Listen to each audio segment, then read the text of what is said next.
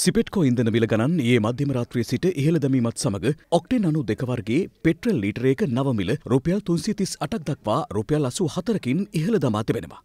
ඊයේ දින ඉහළ දැමුණු IOC ඔක්ටේන් අනු දෙක වර්ගයේ පෙට්‍රල් ලීටරයක මිල රුපියල් තුන්සිය තිස් අටක් දක්වා ඉහළ දැමුණු අතර එ අනුව සිපෙට්කෝ සහ IOC ඔක්ටේන් අනු දෙක වර්ගයේ පෙට්‍රල් ලීටරයක මිල පවතින්නේ සමතත්වයකයි. එමෙන්ම සිපෙට්කෝ ඔක්ටේන් අනු පහ පෙට්‍රල් ලීටරයක නව මිලද රුපියල් තුන්සිය හැත්තෑ තුනක් දක්වා රුපියල් අනුවකින් ඉහළ දැමුණු අතර එම වර්ගේ IOC පෙට්‍රල් ලීටරයක මිල ඉහළ නංවා තිබුණේ රුපියල් තුන්සිය හැට හතක් ලෙසයි.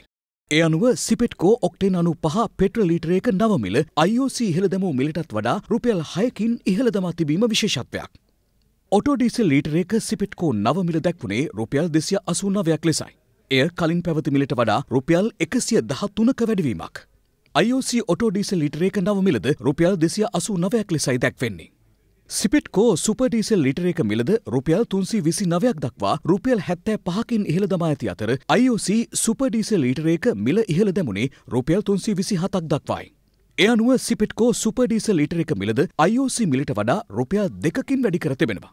මේ අතර යතුරු පැදි ත්‍රිරෝධ රථ කාර් වෑන් රථ ජීප් රථ ඇතුළු අනෙකුත් රථවාහන සඳහා ඉන්ධන නිකුත් කිරීම සඳහා පනවා තිබූ සියලු සීමාවන් අහෝසි කිරීමට කටයුතු කරන බවද ලංකා කනිජතෙල් නීතිගත සංස්ථාව දැනුම් දෙනවා.